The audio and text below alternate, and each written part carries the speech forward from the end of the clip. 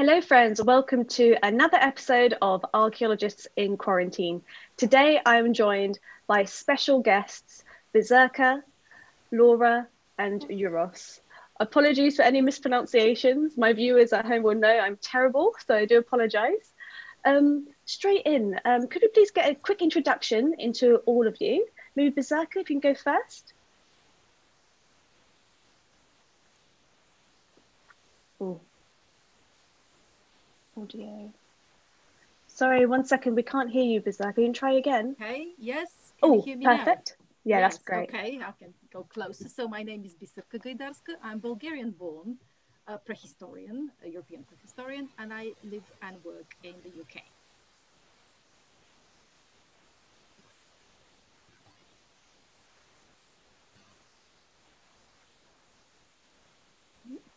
Maybe Laura? Yeah, I can go next. Hello, everybody. My name is Laura Coltofean. Um, I'm um, uh, one of the co-chairs of the Archaeology and Gender in Europe community of the European Association of Archaeologists. And I'm also a postdoctoral researcher, mostly working on the history of archaeology.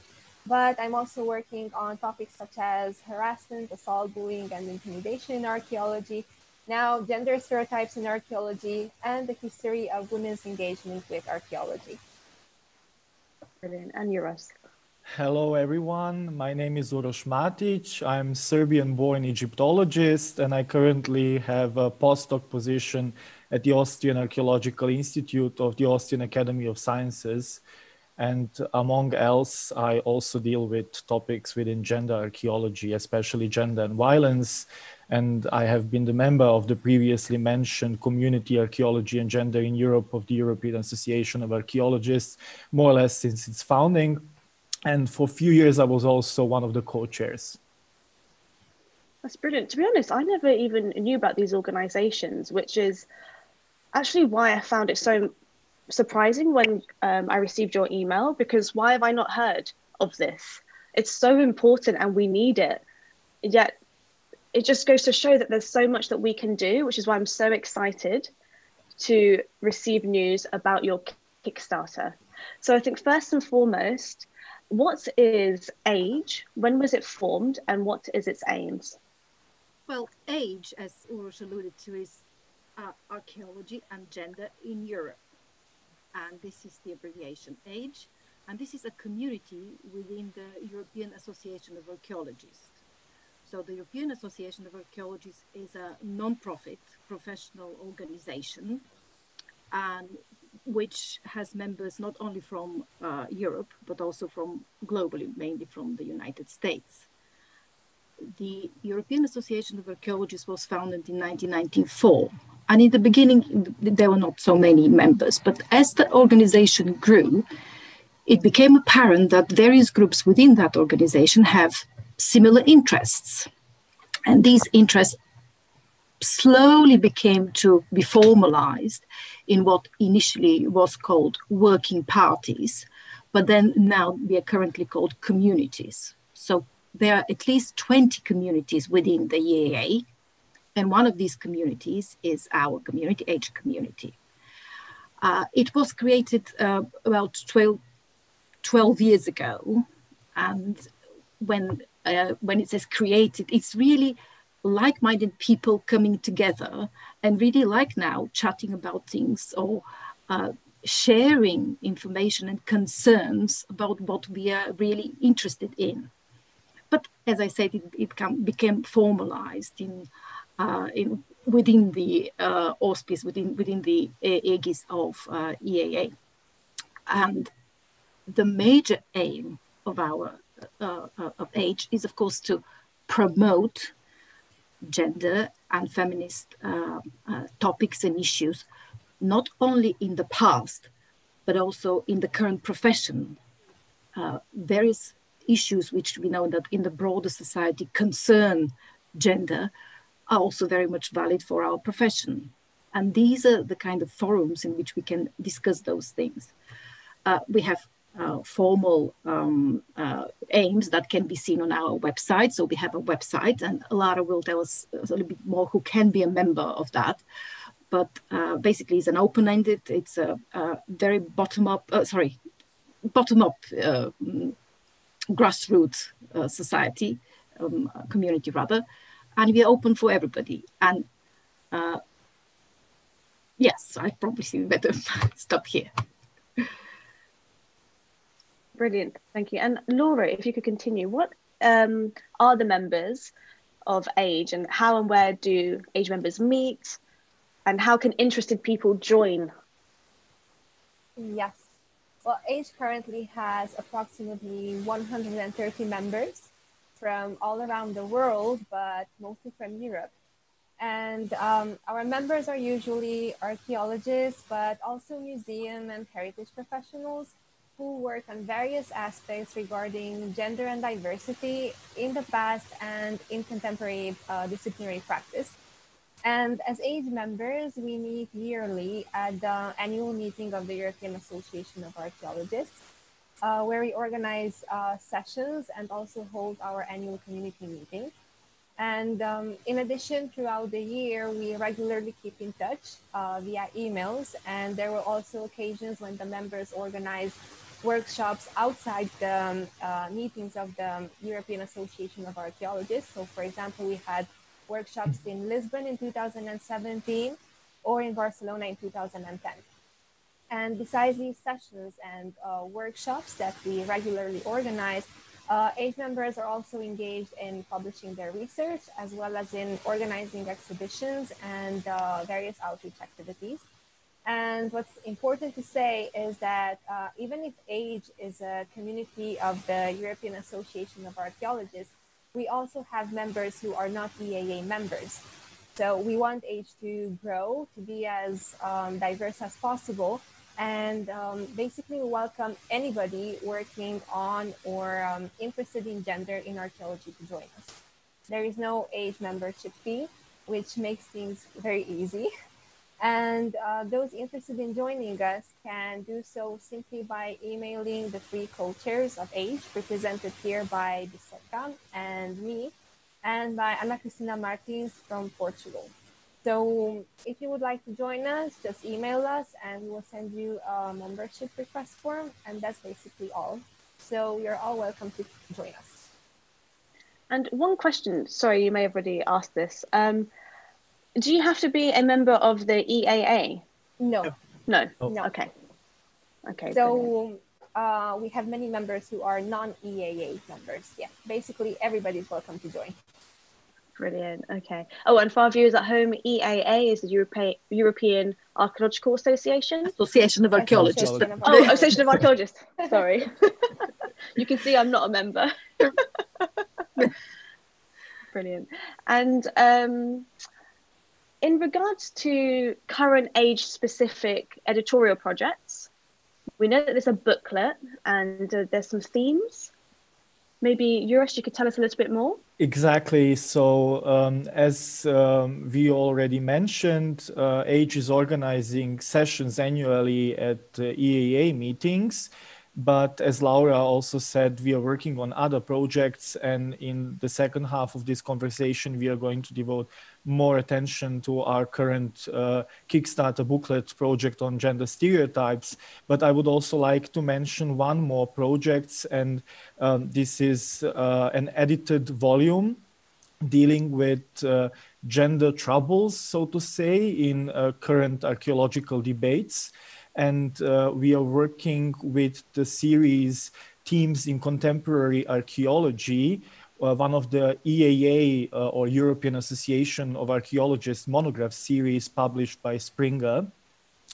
And uh, this book uh, has the aim uh, to work on the topics such as gender um, by analyzing how and why gender is missing in current archaeological debates, such as, for example, the so called third science revolution, or uh, the topic of ontological turn, or the topic of violence in the past, or the topics of mobility or intersectionality, and so on and so forth. Um, so this is going to be um, effort which is international and uh, it's going to include scholars in various phases of their career from junior postdoc uh, to already established, let's say, senior scholars or even pioneers in gender archaeology. So this is shortly about uh, this other project we are working on. Our other AGE members are also working on uh, publishing or preparing for publishing various other uh, team volumes, but um, we are not going to focus on these today. So these are just two examples uh, I wanted to mention. Mm. You know, just even as an introduction, it just shows how important this is and it's it's a shame that even now in 2021 that it's not spoken about as much as it should be i'm glad that we're having this conversation and i hope we can actually see a direct change and that's the, the key part because it takes more you know it's so many of us that need to contribute to it in, in a sense to help change the narrative so i hope i hope we can achieve that um, so in regards to the presentation of the booklet. I think we're going to look at um, gender stereotypes in archaeology and the Kickstarter campaign. So, for all of those who do not know, Kickstarter is a crowdfunding platform where you can donate anything from $1 to I don't even know what the limit is hundreds, thousands of dollars you can donate to a project that you find worthwhile. And I do have the link of that in the description below. So please check that out. And if you can't donate, it's okay. Sharing their project aims and even joining the society, that in itself is contributing to what we're trying to achieve, what they're trying to achieve. So, Uroš, the, how the idea of the booklet was born, maybe we can talk a little bit more about that and how it's structured, because it's quite interesting. It's quite difficult to comprise everything down into a nice bite size booklet. So, what's the process behind that? Well, first of all, thank you for introducing the booklet and the Kickstarter initiative and uh, also asking our viewers to contribute even by sharing. And this is the most important aspect of this project, and that is solidarity. The question, how did we came to this idea? is actually related to my observation of what was going on at uh, European Association of Archaeologists meeting in the last few years.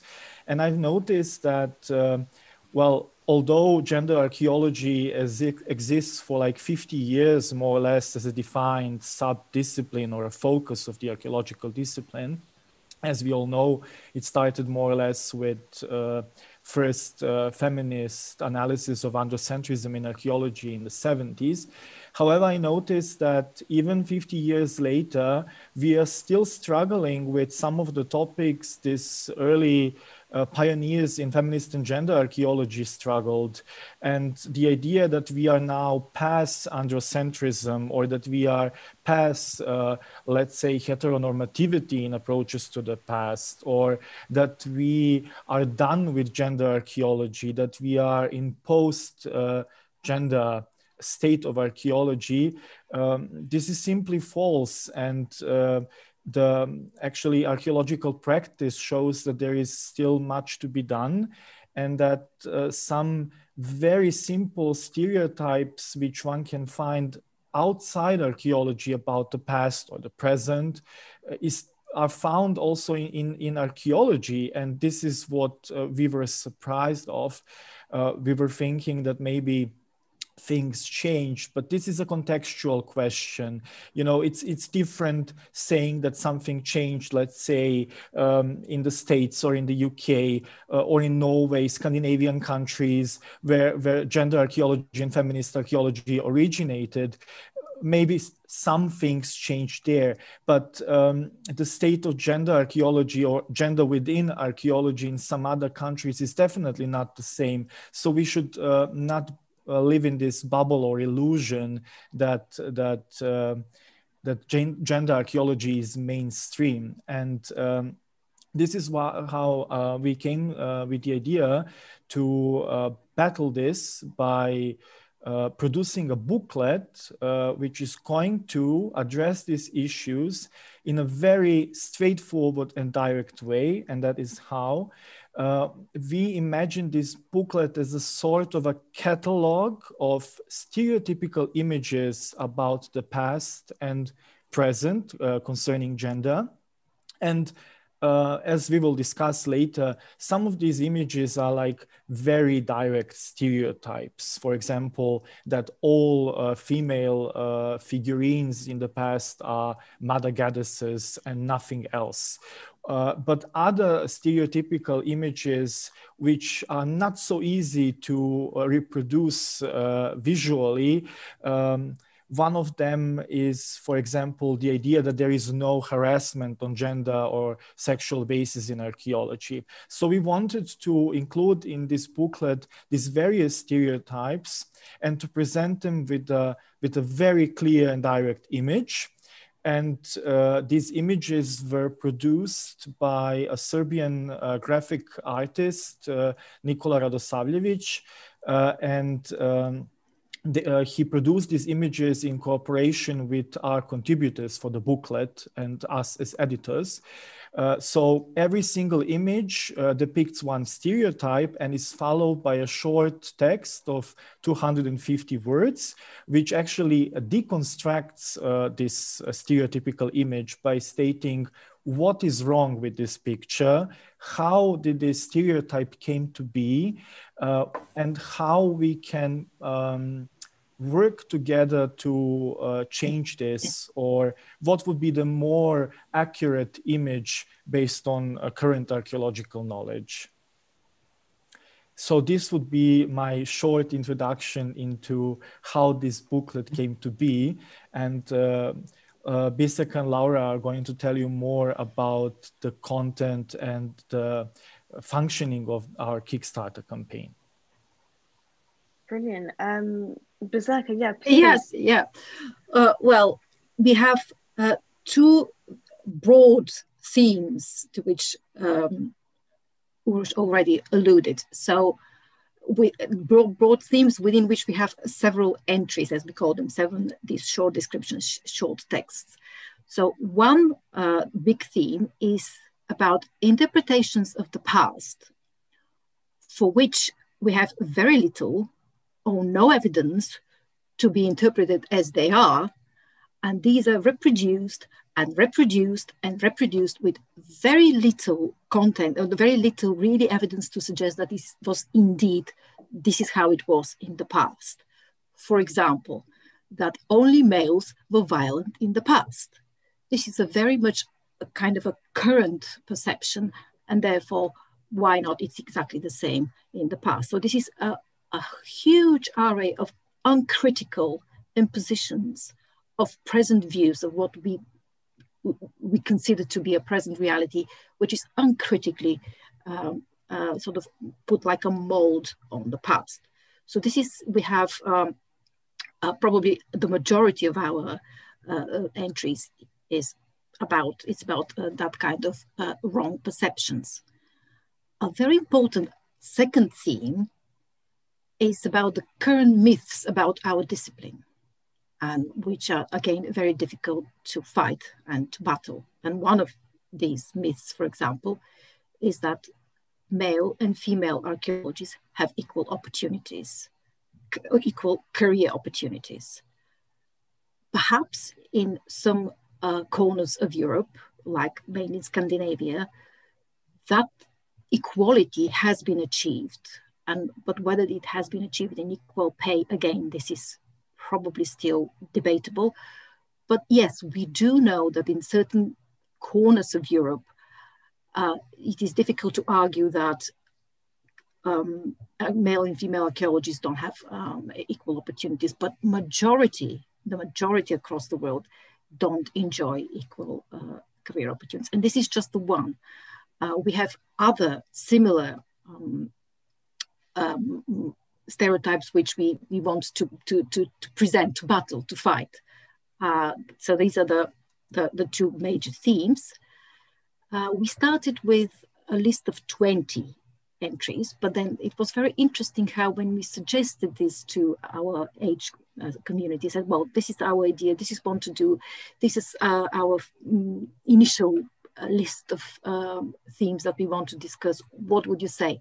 And it is very interesting how people started to come back with either refinement of what we need to say or, or completely new suggestions, which is suggests that this, there is a very dynamic process. It's not, oh no, no, you're right about that.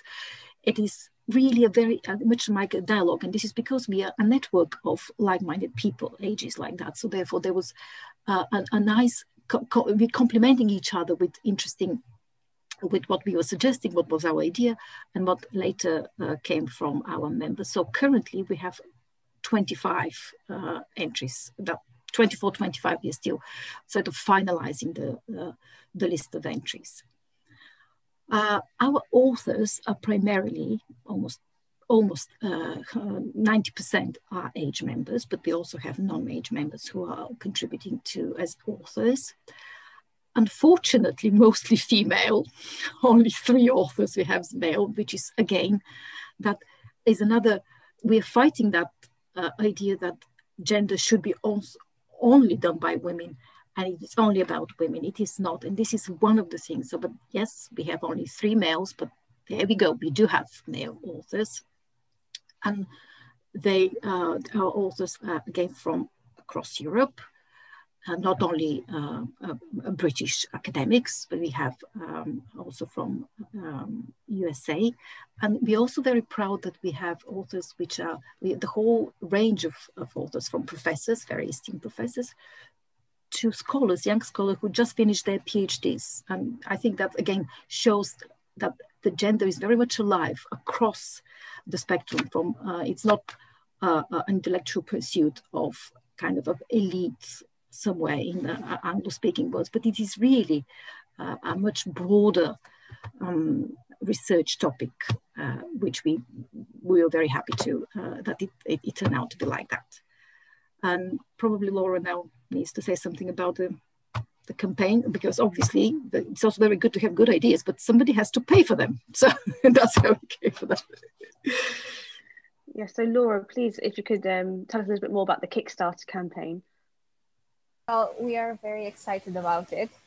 Uh, so in order to raise the necessary funds for the publication of the booklet, we launched a crowdfunding campaign on Kickstarter. Kickstarter being one of the most popular crowdfunding platforms out there.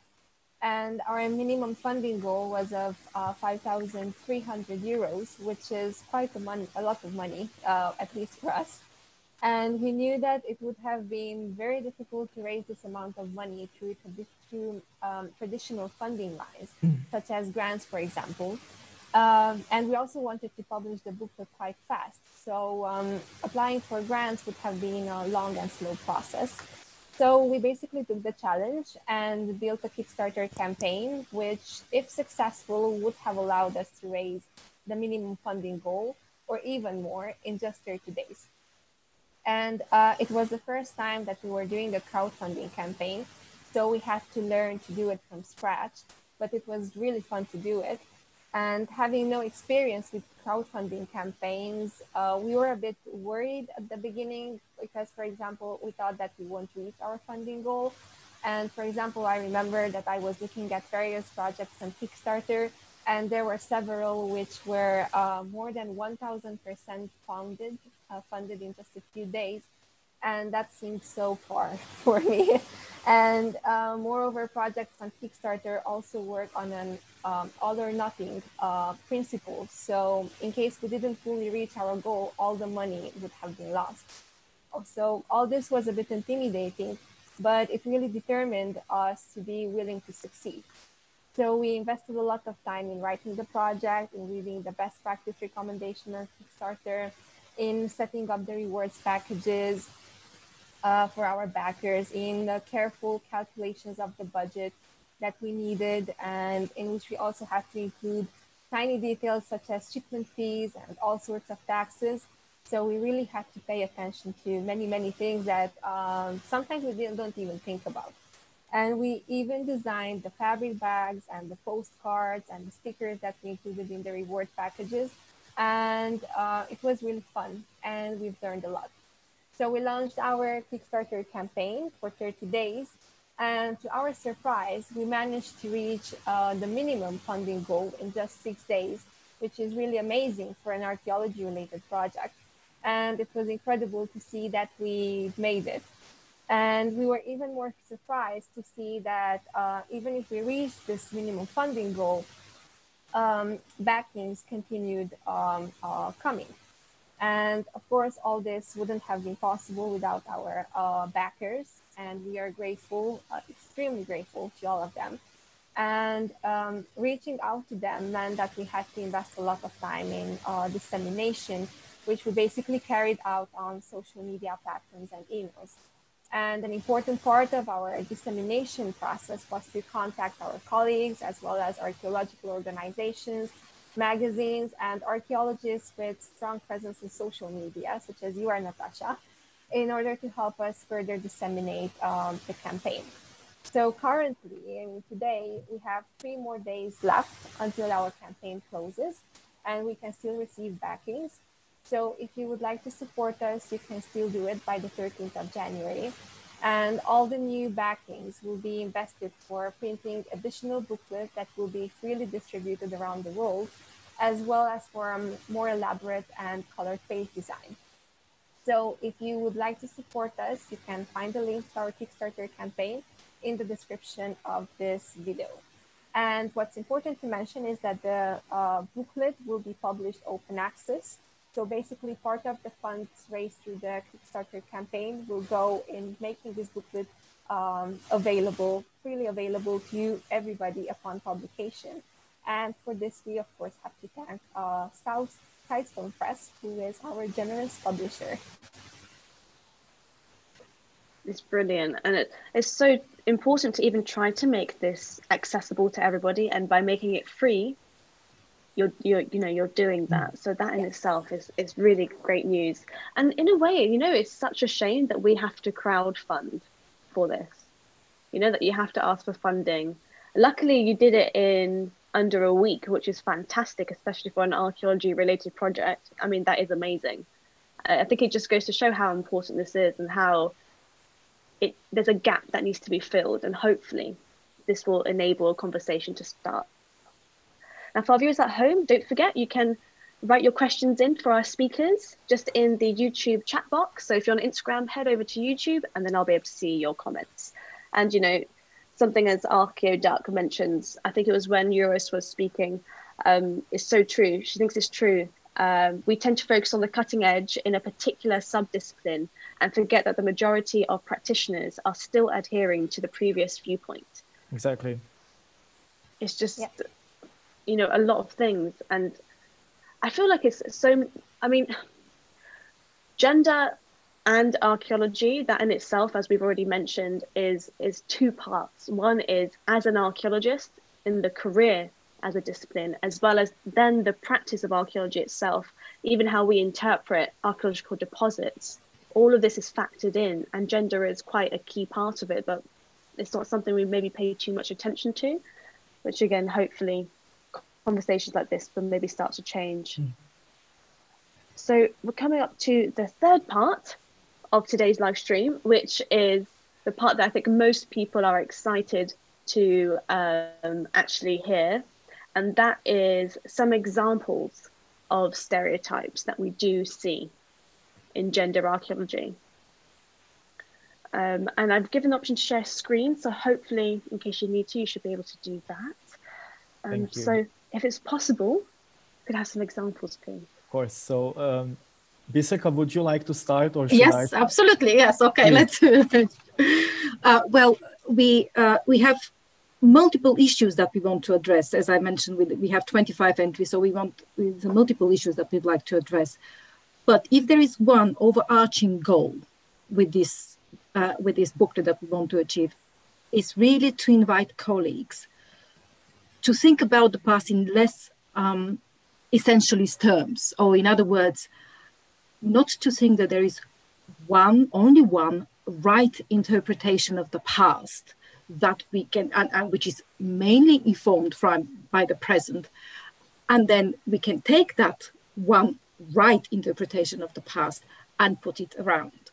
And, and like uh, as i said like a mold to all of the past society. So having said that, then we are faced with a very big challenge of one of our entries, which we, we are called, which is called, is gender universal.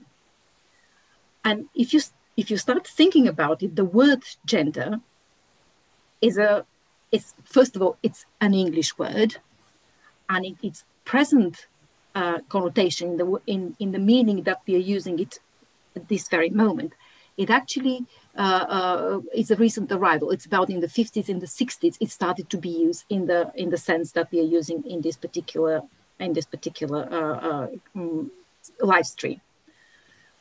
We know that the non-Indo-European uh, languages, for example, are not gendered. That is to say that they don't have a concept from she, he, and it. So this is one set of languages that don't have such a concept. There are other languages within the Indo-European group that do not have the word gender in them. So then you will say, how is it then possible? How we then, if we want to have a more diverse um, understanding of the past, it seems as if we want to impose to that past a single concept of gender. And we certainly don't want to do that. We most certainly we don't want to do. We are trying to say that with or without word for gender, with or without a concept for she, he, it, there were there were gender roles, what we now call gender roles, what we now say uh, gender expectations and identities, which were pertained to different kinds of people. The people were not man and woman, male and female, and they exactly uh, very strictly assigned roles. They're much more complex, much more diverse, and this is what we want to tackle. There is not an easy way to that. We have to obviously look at our concrete evidence and start to disentangle the various uh, the various strings that we have. But this is one of my, our most our most complex uh, uh, um, uh, stereotypes that we want to deconstruct. I promise you, all the others are not so complex, but I just to give you the sense that some of them are really very complex, and we are not we admitting that we understand that some of them are very complex and we are trying to explain this in 250 words which is very very very difficult. So the others to which uh, laura and Uroš will say they're hopefully simpler that will be easier for our audience to to engage with. So should i go first or Uroš yeah, I would suggest Laura continues with the second example okay. because the one I'm going to represent is also a bit complex. So um, I okay. think maybe it's better for you, Laura, for you to present the second yeah. one. Okay, no worries. So um, another stereotype that you will be uh, dealing with in the booklet is that um, mm. archaeology is free of harassment and assault, especially sexual. And in reality, recent surveys have shown that archaeology actually suffers from culture of harassment, assault, bullying, and um, intimidation. So some of these surveys also reveal, reveal that harassment in archaeology comes under various forms, from sexual, power, and psychological to gender and religious, among others. And the problem is that very often these offensive behaviors become normalized and um, are not recognized anymore. So we consider that it's very important to include in the booklet uh, an entry on harassment, assault, intimidation, and bullying um, as a way of raising awareness among the practitioners of archaeology and also the fans of archaeology um, because awareness of the existence of these misconducts is one of the first steps towards preventing and combating them. And um, we have to raise awareness of the fact that these behaviors can happen in various settings, from fieldwork, university, to um, museums and scientific events. And anybody can be a victim, and anybody can be a perpetrator. Um, so it's important to acknowledge that these offensive behaviors can generate all sorts of um, emotional and psychological wounds and traumas. They can lead to insecurity, anxiety, and even depression. And there are even examples of victims who renounce their jobs um, um, or who abandoned archaeology forever, while their perpetrators continue living, researching, and professing undisturbed. So it's our com common responsibility to raise awareness of these misconducts. And the booklet, uh, and including this topic in the booklet, is one of the ways to do it. Mm. Well, uh, I would first like to say thank you for uh, these two uh, previously mentioned stereotypes, and uh, it is also important to to uh, mention and explain to the audience watching us that there are there is a wide range of stereotypes uh, we are including in this booklet. For example, one of the most commonly found stereotypes about gender archaeology as a praxis is that it's done only by women, for example, or that uh, uh, straight uh, cis men uh, cannot do gender archaeology, and this is simply a false assumption. Um, and why is this so? Because even if an author, uh, no matter male or female, uh, is not aware of um, gender archaeology and gender theory, writing about the past, this person is inevitably writing about men, women, children, others in a very specific way. What differs is that gender archaeologists are very much aware of the problems of often made assumptions which are not based on the evidence. However, this attempt gender archaeology is making is very often labeled as gender uh, uh, ideology. So, to say, one of the most common found stereotypes is that gender, as studied by gender archaeologists, is an ideology. And what is meant with this is that uh, those who accuse gender archaeology of being an ideology often also call this kind of uh, construct of the gender feminist or gay lobby or gender mainstreaming. So there is this idea of some kind of a dark force which lurks behind and which, in, in the terms of these global far right movements, ideas, and concepts, wants to endanger family, moral, or even the nation. So there is this far right resistance to equality, which is propagated by feminism and justified through very superficial political, cultural, or religious explanations. And the problem with these stereotypes is also that it is uh, based on a very, uh, let's say, simplified understanding of the word ideology. And that in this classical Marxist definition of ideology as a promotion of false ideas about uh, the political regimes to subjects under their control in order to reproduce the status quo. So to say, there is some kind of a, a natural state or a God given state, which this gender ideology and propaganda wants to destroy and to put something on top of it. However, if we look at uh, ideology in a different way, let's say how Slavoj Žižek understands ideology, um, maybe ideology is exactly the idea that there is some kind of a, um, pre-signified nature when society is concerned, where everything is natural or God-given and um, it functions in the same way everywhere. So um, gender archaeology is one of the archaeological practices which is very well aware of the historicity of concepts such as sex, gender, and sexuality, of diversity of this concept, not only today, but also in the past. And how to communicate this with an image, I'm now going to share for our audience one of the images we are including uh, in our uh, booklet. Um, just trying to find this option, share screen.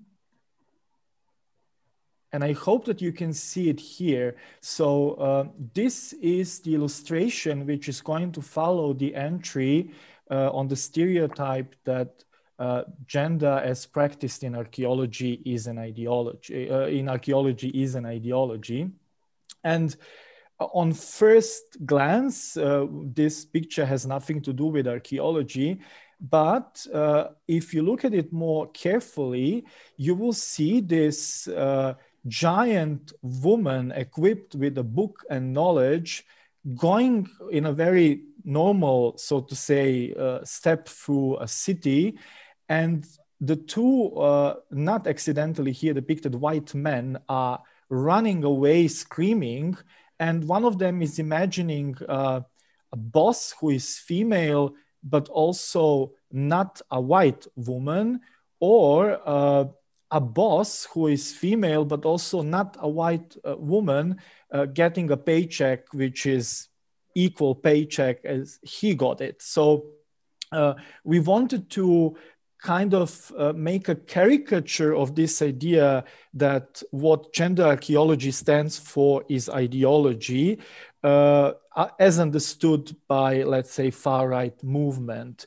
So um, looking at this picture what the observer should uh, learn is that having a female boss uh, is not necessarily scary or scarier than having a male boss or that having a female boss who is not a white woman is not necessarily scary or any more scarier than having a, boss who is a white uh, man.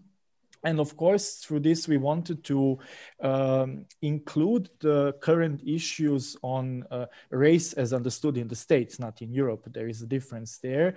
Uh, and the uh, Black uh, Lives Matter movement. Uh, because as we already spoke about this, this whole project is based on solidarity and gender is part of intersectional um, aspects of identity. So we cannot forget this. And this is also what we wanted to communicate through this image, uh, as I just explained. Wow. Where to begin, where to end? You know, it's just it makes me upset that we have to have these conversations in 2021 however i'm glad that we are having them you know? Um, it's, it's very powerful when you see an image because it, it speaks a thousand words. And to the viewer it's interesting how we may interpret it. Everyone interprets as something slightly different so it's it'd be nice to see an image in contrast with you know 250 words even though I can't believe you're writing something in 250 words. like uh, it's really well we think we think it's important to do it in this uh, manner because um, the problem we were facing is that gender stereotypes are often fought within academia itself in, in academic writing, which reaches a very limited audience. However, if you imagine a booklet which is focused on images and short texts, very direct, very specific, distributed for free all over the world to universities, institutes, university libraries, museum shops, then these ideas are reaching a broader audience. And in this way, we are trying to make people think and ask themselves uh, is the way I see this informed? Is the way I see this um, correctly informed? Is the way I see this the only way? Are there possible ways, and which uh, possible ways could this be? Mm. And I, I, wanted to add that uh, each entry is followed by two references where readers can um, find more information about the stereotype that an entry is deconstructing. So we also try to do this. I mean, the, the, entries are short, but if you want to find more, to read more, you have this reference list. It was very difficult to select this bibliography because there's quite a lot, but um, you have this like selected bibliography and you can go and find out more. Mm-hmm. So for example, from our examples today, we saw about the use of language with gender, so she, he, it's interesting actually with some languages we have masculine and feminine words, don't we? In English we don't, but I know when I was studying French that we do. So it's interesting even that how that's constructed, how the challenges that are around just the language, the use of language. And I've seen I've seen it now. We're we're trying to. There's people who are trying to address that. It's very difficult, though. I must admit, like uh, language, it's a very difficult thing to change. We are not in the business of making easy conclusions, not in the business of easy stuff. So yes. this this is a quite a challenge, but you know, this is because, as we said several times, uh, we are not the first to try mm. to, uh, um, to, to, to, to, make sense of gender in the past. Uh, we have really feminist thinkers who have done move mountains uh, into in academic terms, and yet when it comes to um, to what we to if you go to a regular conference, probably two percent of what you will hear has some kind of engagement with gendered past. Massively, it will be about pots. Nothing wrong with the pots. I love pots. Or, with some kind of uh, um, landscape. Again, love landscapes, but we, we should not uh, divide our interpretation of the past like that. We need always to think that in the end, past is about people. And these people were never just the one man, just the one woman. Or this is much more diverse, much more diverse, and and we have to strive to understand that. I'm not saying it's easy. That's that's where we started. There is no easy way, but we have to try it, and that's why we try this more simpler way of presenting, uh, sort of very. Uh, we hope it's a very clear image and a very impact, uh, impactful image with a short text saying, well, please, colleagues, think about it. Just please think about it next time when you're faced with your evidence. Do not reach out for the easy shortcut and saying, well, that's what it is. Just just spend a little bit more time and think whether maybe, maybe, maybe there is a different story to tell. And this image is another example. Is this looking at uh, more? Yes, so yeah, I will just give a short, short background. So mm. uh, if, if you look at this image, you're going to see three uh, male white archaeologists excavating, uh, excavating a, a, grave. And then you're going to see that uh, they're imagining uh, the past based on um, the archaeological record. And what we wanted to communicate with this image is that we tend to think about the past very often in our own terms, as we already uh, stressed. And the way we wanted to communicate this is that if you look carefully, the way uh, the archaeologists in this image are dressed is the same way, more or less, at least when the patterns of their dress is concerned, uh, as the imagined men in the past are dressed. For example, the one with the stripes imagines the one with the stripes in the past, and the one, the one with the with polka dots is imagining the other one with the polka dots in the past. And of course, we know that uh, it's problematic to suggest that there were some kind of uh, uh, patterns like this, but this is not the point of, of this image. The point is we want to communicate that they're imagining kind of men as they are in present being like that in the past and they are fighting dangerous animals they are hunting they are doing all of these activities whereas in the in the background or as we have it here there is a woman who is silently foraging. And what we wanted to, to show with this image is the stereotype that archaeologists very often although it has been written so much about this tend to value hunt more than any other activities uh, or that hunt has to be something done only by men although we simply do not or very often lack the evidence suggesting that only men were hunting or that uh, only uh, women were foraging and we are all, always thinking about very specific men and women you know? So you have to think about also elderly men elderly women girls boys um, people with disabilities and so on and so forth. So the image of the past is complex. And we should be uh, aware of the dangers of making this past simplified through words and images also in academic writing. So this is the the point of of this image and the stereotype it wants to deconstruct. Now this is very interesting to be honest. It, it does make one think actually when we're excavating something what are we the archaeologists thinking as we're doing that it's uh, very thought provoking.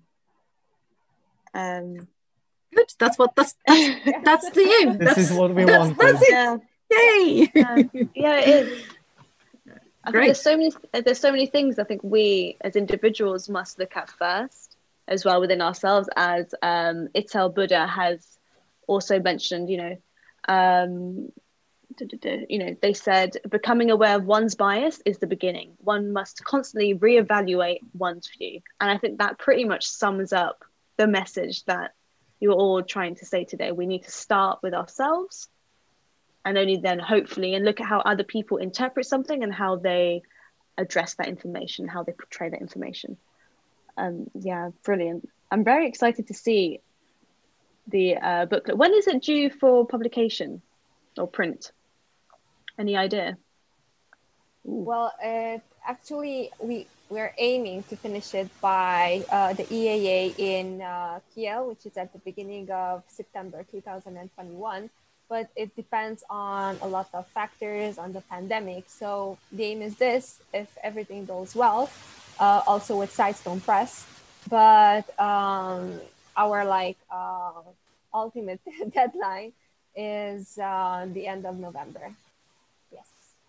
Yes. okay and this image Yes, so I, I, I you couldn't wanted to- resist. yeah, I couldn't resist. and I also wanted to, um, because the first st- stereotypes uh, we were discussing uh, are, of course, archaeology related, but uh, we wanted uh, to show some examples which are like really uh, basic archaeology related, so to say, not only these meta theoretical questions about is gender archaeology and ideology and so on and so forth. So the last example I was showing uh, with these uh, male excavators and the way they imagined the past was one of these uh, like very basic problems we face in archaeology and this is another one so the stereotype this uh, image is supposed to communicate is that uh, same-sex uh, acts or intercourse or relations uh, are a modern invention also some kind of a modern ideology. And we know that this is simply not true, that uh, same sex intercourse existed also in past societies and that it was uh, differently structured than in our society, uh, which of course does not mean that it was some kind of a um, completely a liberal world uh, devoid of any kind of uh, judgment or oppression. Of course, we're not saying that, and we are, are very well aware of the fact that uh, some uh, forms of identity were not welcomed also in past uh, society or simply did not exist, or that some practices were also maybe not welcomed in some societies or did not exist in soci- some societies, but yet they, they existed in others and were variously tolerated. So we wanted to ask the question why are we keeping eyes closed on these matters, or why are we keeping eyes of the others closed on these matters? Like, for example, this father figure and the boy uh, visiting a museum and seeing, let's say, an ancient Greek depiction of uh, male lovers or men engaged in any sort of uh, sexual uh, activities. So, um, this is one of the stereotypes we also want to tackle. And it actually, I think, answers Archaeoduct's question, which was um, the focus is there a focus more on gender archaeology or more on sexism? Because gender is socially constructed and is not always binary, whereas the discussion here is mainly about sexism. So I would like to think that this somewhat answers that, that there is there's more elements that are being addressed in the booklet. And I do love this. I love this image. Uh, you can actually see the entire content of the booklet uh, on our Kickstarter page. Yeah. So there we listed all the um, uh, stereotypes that we are deconstructing. And I can't hear you, Bisserka. Oh, try again with the microphone. No. so for our viewers at home, whilst we're just getting over this technical issue, if you have any questions, quickly type them in now as we're coming towards the end of the stream. No.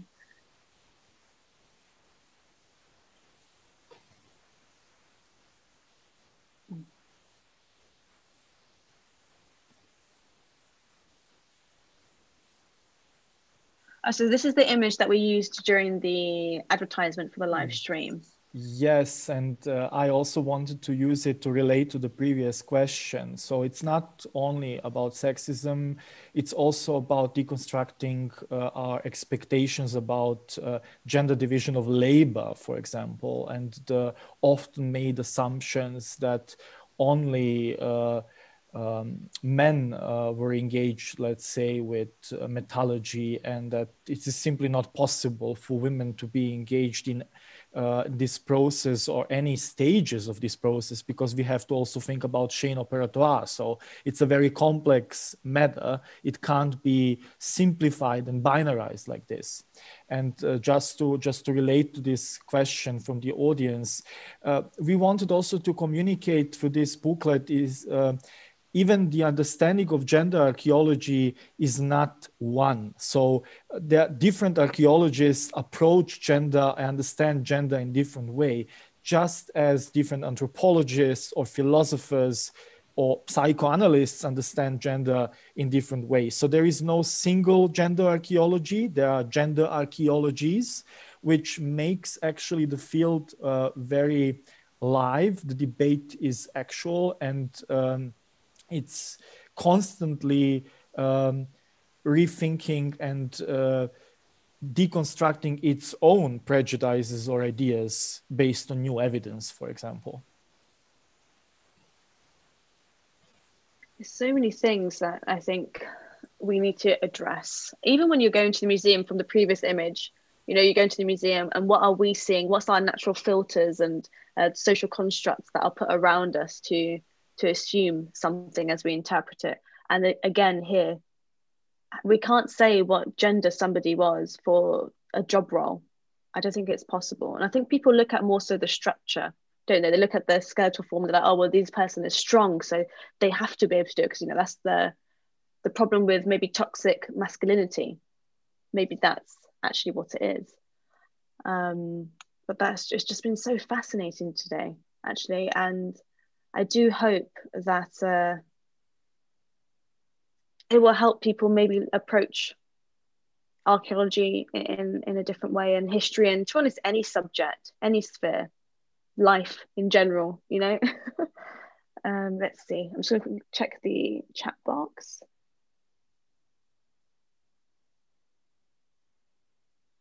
Yeah again it's about you know gender roles how people interpret gender roles. Yeah exactly is there anything else that you all like to add whilst we? Oh, just a little bit. I think you might need to just do your wire a little bit.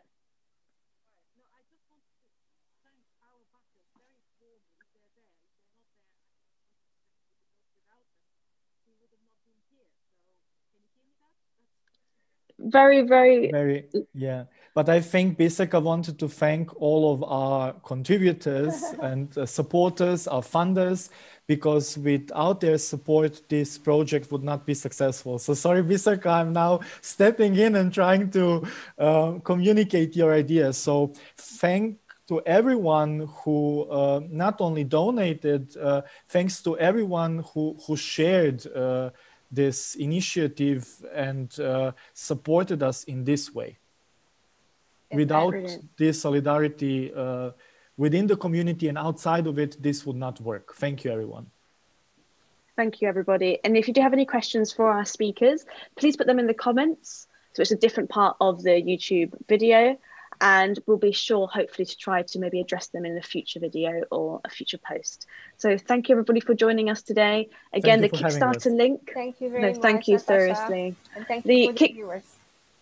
Yeah, thank you, viewers. The Kickstarter link is in the description below. So don't forget just to check that out and share it. You know, you can tweet it, Facebook, Instagram. The world is your oyster. Okay. So thank you, everybody. Have a lovely day, evening, night, and I'll see you all next week. Thank you. Bye. Thank you. Bye. Bye. Bye.